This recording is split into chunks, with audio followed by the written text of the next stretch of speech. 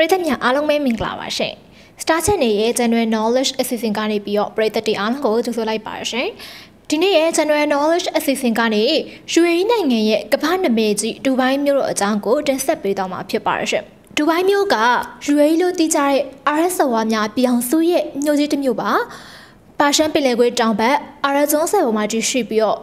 UAE နိုင်ငံရဲ့လူဦးရေအများဆုံးနဲ့နာမည်အကြီးဆုံးမြို့ဖြစ်ပါတယ်။ UAE နိုင်ငံကို Seven Emirates လို့သိကြတဲ့မြို့ခုနှစ်မြို့နဲ့ဖွဲ့စည်းထားတာပါ။အဲဒီမြို့တွေကတော့အဘူဒါဘီ၊ဒူဘိုင်၊ရှော့ဇာ၊အက်မင်၊အမာကွာရင်နဲ့ဖူချိုင်းတို့ပါ။ ဒူဘိုင်းကိုဒူဘိုင်းချောင်းနဲ့မြောက်ဘက်မှာအန်ဒေရာတောင်ဘက်မှာဘာဒူဘိုင်းဆိုပြီးတော့နှစ်ပိုင်းပိုင်းခြားထားတာဖြစ်ပါရှင်အဲတစ်ချိန်ကတော့ဒီနှစ်ခုကိုရေလန်းခီးနဲ့သာသွားတာခဲ့ရပြီးတော့အခုကမှဆိုလို့ရှိရင်တော့တရားနှစ်စင်းအပြင်ကိုရေအောက်ဥမင်တစ်ခုနဲ့အဆက်အသွယ်ထားတာပဲဖြစ်ပါတယ်ဆက်ရှိရာဆိုအချိန်ထိတော့ဒူဘိုင်းဆိုတာကတန်ငါရောင်ငယ်လေးတွေ့ရပါ1833ခုနှစ်မှာတော့အဘူဒါဘီကနေခွဲထွက်လာတဲ့အာမတူမန်မီတာစုက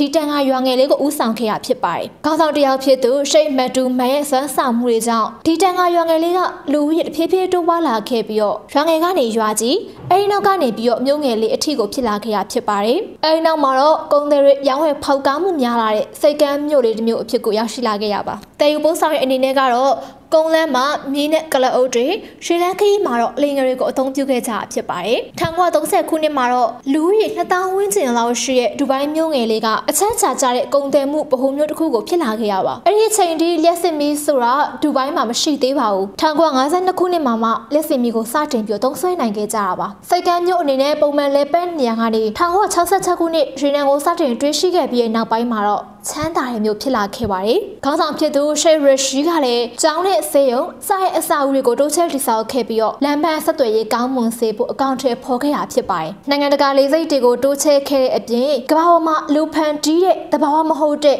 အကြီးဆုံးပင်လယ်စိတ်ကဂျပန်အလီသမောစိတ်ကိုပါတိစောက်နိုင်ခဲ့တာဖြစ်ပါတယ်။1960မှာအဘူဒါဘီနဲ့ပူးပေါင်းလိုက်ပြီးတော့ UAE ကိုစတင်တည်ထောင်နိုင်ဖို့အတွက်အခြားမြို့လေးမျိုးနဲ့အတူစ조사ခဲ့တာဖြစ်ပါတယ်။1982ခုနှစ်မှာတော့ရက်စဲခိုင်မာမြို့ကလည်းဝင်ရောက်လာတဲ့အတွက် UAE နိုင်ငံကိုတည်ထောင်နိုင်ခဲ့တာဖြစ်ပါတယ်။အဲဒီနောက်မှာတော့ဥမိန်လိုင်ကောင်းတွေပန်းချံတွေဗန်တွေကိုတိစောက်ဖွင့်လှစ်ခဲ့ပြီးတော့အလူမီနီယံထုတ်လုပ်ရေးနဲ့စောင့်လုပ်ရေးလုပ်ငန်းတွေကိုပါချဲ့ထွင်ခဲ့ပါတယ်။1985ခုနှစ်မှာတော့ Emirates လေကြောင်းလိုင်းကိုစတင်ခဲ့ပြီးတော့ဒူဘိုင်းစေကောလစ်ကိုပါစတင်ပြီးဖွင့်လှစ်နိုင်ခဲ့တာဖြစ်ပါတယ်။1989ခုနှစ်မှာတော့ဂန်နာယာခောက်တီးရိုက်ပြိုင်ပွဲနဲ့ပထမဆုံးဒူဘိုင်းလင်ပြောင်းပွဲတို့ကိုပါကျင်းပနိုင်တဲ့အထီကိုဒူဘိုင်းဟာတိုးတက်လာခဲ့ရပါ1990ခုနှစ်မှာတော့ဒူဘိုင်းကောင်းဆောင်မက်ဒွန်ဘရရှိက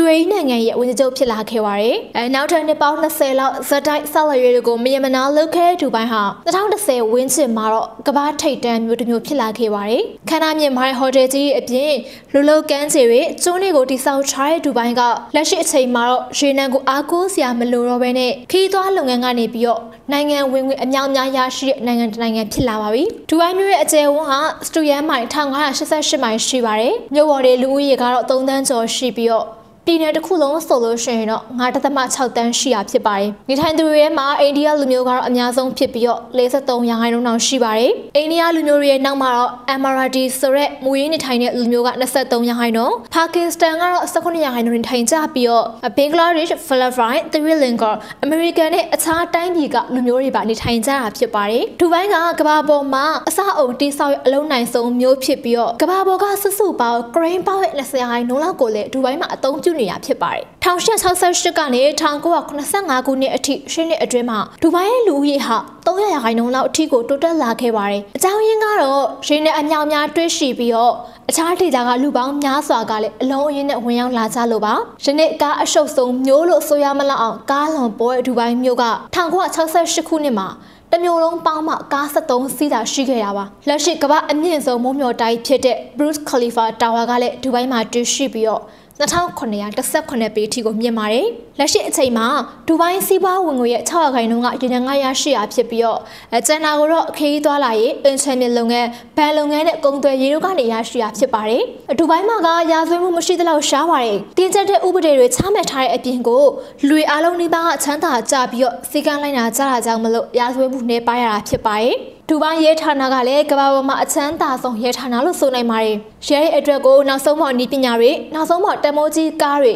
Lamborghini, Ferrari နဲ့ Bentley အပြင်မိုးပြန်ဆိုင်ကယ်တွေထိကိုတောင်မှဖြစ်စွပေးထားဖြစ်ပါတယ်။ဟုတ်ကဲ့ပါအခုတင်ဆက်ပေးသွားခဲ့ရကတော့ UAE နိုင်ငံရဲ့ကမ္ဘာနာမည်ကြီးဒူဘိုင်းမြို့တော်အကြောင်းအပိုင်းတစ်ပဲဖြစ်ပါရှင်။ကြည့်ရှုပေးခဲ့ကြတဲ့ပရိသတ်များအားလုံးကိုကျေးဇူးတင်ပါတယ်ရှင်။